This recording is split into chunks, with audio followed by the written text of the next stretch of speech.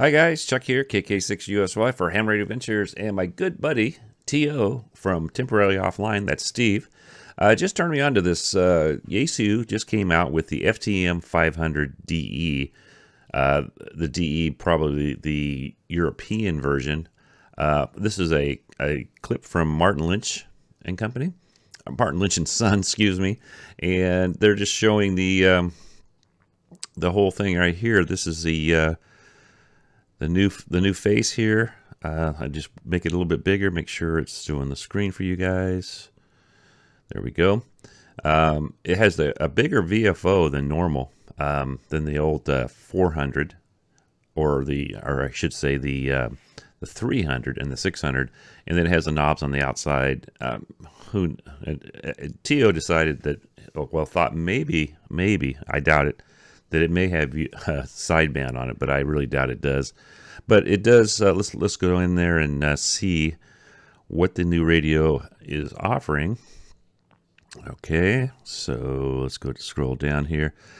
So we're pleased to announce a preliminary information about the FTM 500D series 50 watt C4 FM 144 to 430 megahertz dual band digital mobile transceiver.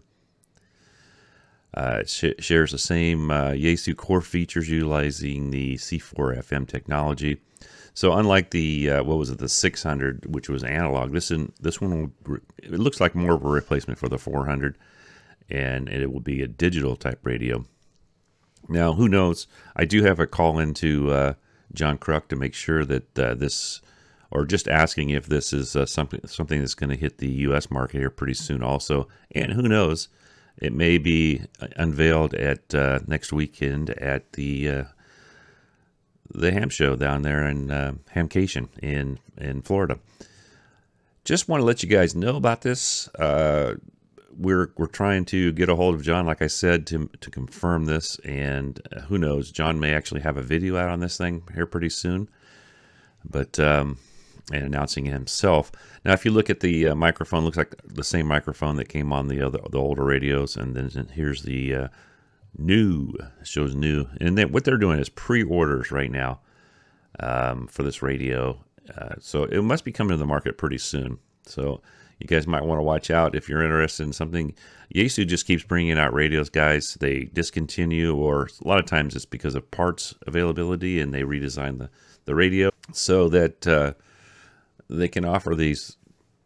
And, uh, you know, they do have some radios that we need to see replacement. The FT991, it's been around a while. Hopefully that will update. It's probably still one of the best uh, all band 100 watt radios you can buy, as far as I'm concerned.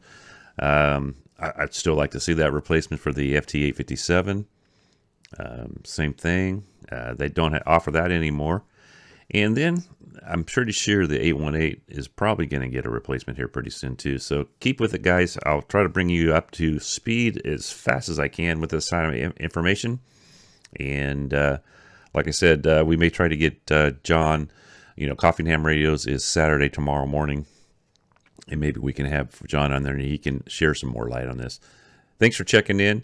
I'm Chuck KK6USY for Ham Radio Ventures. Be safe and I hope to get you guys on the airways soon. I've been getting a lot of you guys lately, especially you POTA guys. KK6USY Clear.